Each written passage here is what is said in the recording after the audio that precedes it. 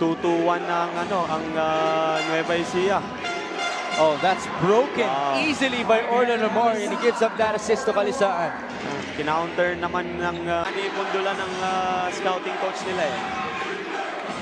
Omar will miss. Rebound Kalisaan. There you see him providing a spark once more. Wow, very crucial yan si Kalisaan. Right, Rebound Marquez. Grabe, yan na.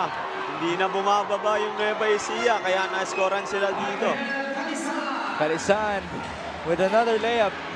Six points so far for him. Good feed mula kay San Juan.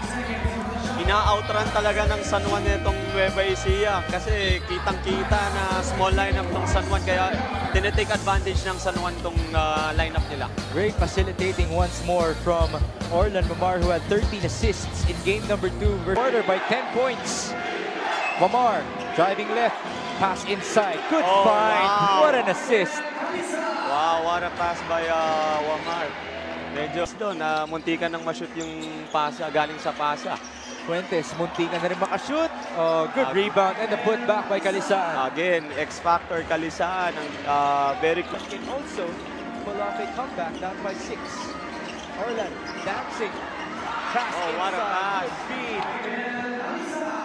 Philip Manala is down. Got hit. Alongside Julian Fuentes. Just 12 points and 8 rebounds right now. Lamar Nice inside. find. Another good feed to. Good. Oh, that's a foul against Michael.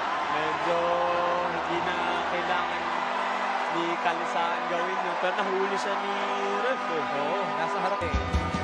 Pinipressure kasi ng guards ng Ecija to si Wamar. So, ang counter ni Wamar is to, to attack. To attack. Ayun. Marquez, he escapes. Dexter inside, no foul. Oh, the ball is stopped to Kalisan. What a play by Ron Denison.